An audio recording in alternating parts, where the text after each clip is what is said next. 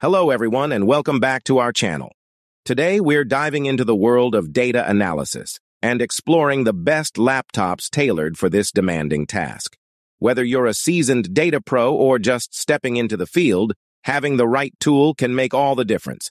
So let's jump right in and discover the top contenders for the title of the best laptop for data analysts in 2024. 1. Lenovo ThinkPad T490. With its Intel Core i5 processor running at up to 3.9 GHz and a generous 16 GB of DDR4 RAM, this laptop is a powerhouse for handling massive datasets and complex algorithms. While it may not boast a dedicated GPU, its versatility and robust performance make it an ideal choice for data analysis tasks. Plus, its configurable RAM and processor options allow for customization to suit your specific needs. 2. Apple MacBook Pro, featuring a 9th gen Intel Core i7 processor, 16 GB of RAM, and an AMD Radeon Pro 5300M GPU.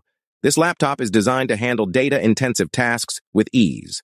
With its stunning 16-inch Retina display and fast SSD storage, the MacBook Pro delivers both power and aesthetics, making it a top contender for data analysts on the go. Our 3 Dell XPS 15, 7590, boasting a 4.5 GHz Intel Core i7-9750 Oroch processor, 16 GB of RAM, and a dedicated NVIDIA GeForce GTX 1650 GPU, this laptop is built to tackle both academic and technical needs. Its 15.6-inch 4K UHD OLED display provides crisp visuals, while its lightweight design and long-lasting battery make it perfect for productivity on the move.